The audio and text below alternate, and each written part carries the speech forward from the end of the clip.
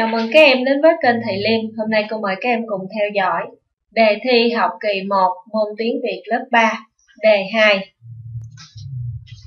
A. Kiểm tra đọc một nhỏ đọc thành tiếng 6 điểm. Thì cái phần này à, ở lớp các em sẽ kiểm tra, các em sẽ được cô hoặc là thầy à, giáo à, cho các em bốc thăm và các em sẽ đọc. Rồi tiếp theo là câu 2, đọc thầm 4 điểm đọc thầm bài chiếc áo rách và làm bài tập. Chiếc áo rách Một buổi học, bạn Lan đến lớp mặc chiếc áo rách. Mấy bạn súng đến trêu chọc, Lan đỏ mặt rồi ngồi khóc. Hôm sau, Lan không đến lớp. Buổi chiều, cả tổ đến thăm Lan.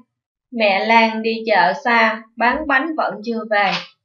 Lan đang ngồi cắt những tàu lá chuối để tối mẹ về gói bánh. Các bạn hiểu hoàn cảnh gia đình Lan, hối hận vì sự trêu đùa vô ý hôm trước. Cô giáo và cả lớp mua một tấm áo mới tặng Lan. Cô đến thăm, ngồi gói bánh và trò chuyện cùng mẹ Lan, rồi giảng bài cho Lan.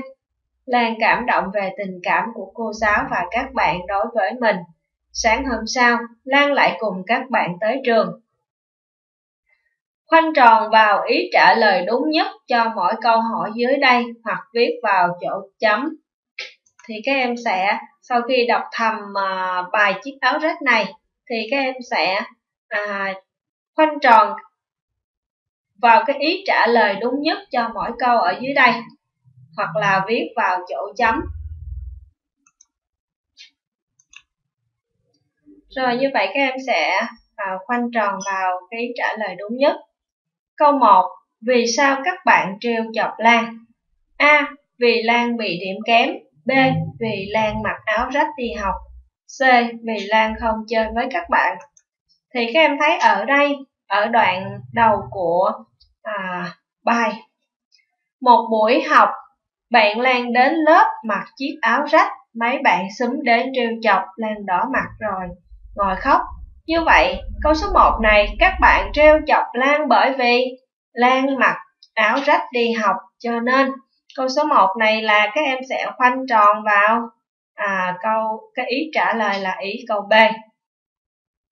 Thì ở đây cô sẽ tô màu đỏ cho các em dễ nhìn. À, các bạn treo chọc Lan bởi vì Lan mặc áo rách đi học. Như vậy câu số 1 các em sẽ chọn là đáp án B. Rồi tiếp theo câu 2. Khi các bạn đến thăm Lan thì thấy bạn Lan đang làm gì? A. Lan giúp mẹ cắt lá để gói bánh. B. Lan đang học bài. C. Lan đi chơi bên hàng xóm. Thì các em sẽ đọc đoạn tiếp theo.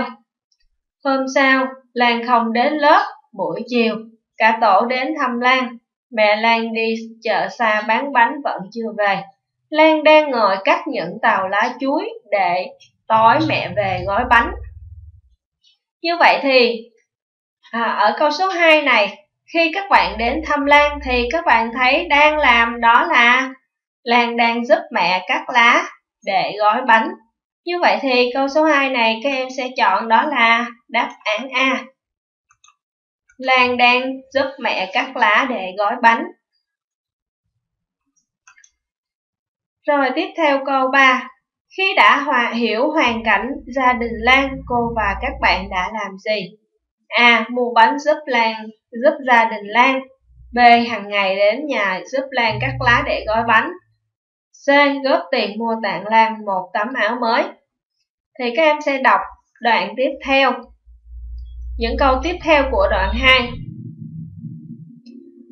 Các bạn hiểu hoàn cảnh của gia đình Lan hối hận vì sự trêu đồ vô ý thức hôm trước. Cô giáo và cả lớp mua một tấm áo mới tặng Lan. Như vậy thì ở đây các em thấy, khi đã hiểu hoàn cảnh của gia đình Lan thì cô và các bạn đã à, mua, góp tiền mua tặng Lan một tấm áo mới. Như vậy thì câu số 3 này các em sẽ chọn đó là đáp án C. Các em, các em sẽ khoanh tròn câu C. Rồi tiếp theo câu số 4. Câu chuyện trên phiên em điều gì? A. Cần đoàn kết giúp đỡ bạn bè.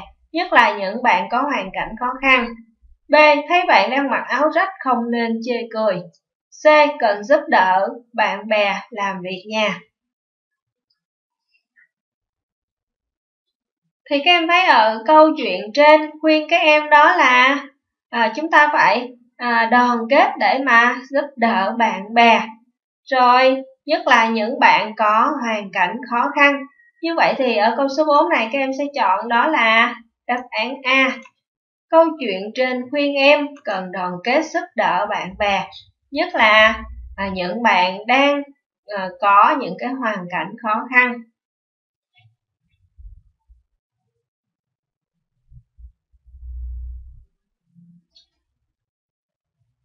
Rồi tiếp theo Câu 5 Bộ phận in đậm trong câu Các bạn hối hận vì sự trêu đùa vô ý hôm trước trả, trả lời cho câu hỏi nào A. Làm gì? B. Như thế nào? C. Là gì? Thì các em thấy bộ phận in đậm ở đây trả lời cho câu hỏi đó là làm gì? Các bạn làm gì? Các bạn hối hận vì sự trêu đùa vô ý hôm trước. Như vậy thì ở câu số 5 này các em sẽ chọn đó là đáp án A.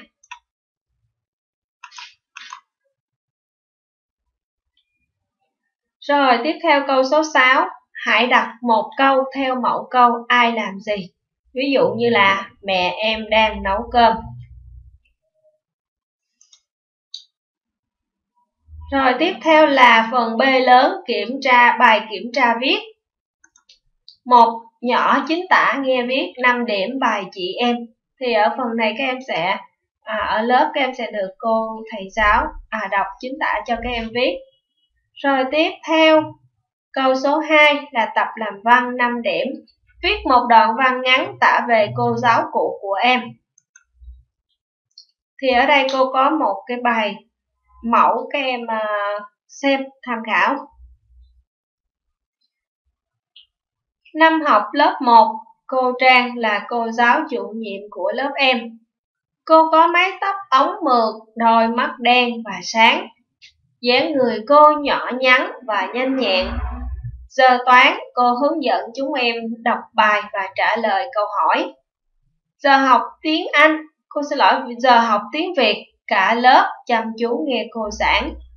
Con cần hướng dẫn chúng em tập viết. Em nhớ nhất là khi cô cười, nụ cười của cô giống hệt một tia nắng ấm áp truyền cho chúng em thêm hứng khởi học tập. Khi em và các bạn mắc lỗi, cô luôn nhắc nhở chúng em bằng giọng dịu dàng mà nghiêm trang. Chúng em rất yêu quý và kính trọng cô, nghe lời cô, chúng em chăm chỉ học. Như vậy thì đến đây các em đã vừa cùng cô theo dõi đề thi học kỳ 1 môn tiếng Việt lớp 3. Thì sau khi xem xong nếu các em thấy dễ hiểu thì hãy nhấn nút thích và chia sẻ cho mọi người cùng xem. Và đừng quên đăng ký kênh Thầy Liêm để được xem những video tiếp theo nhé. Cô chúc các em học tốt và cô chào tạm biệt các em.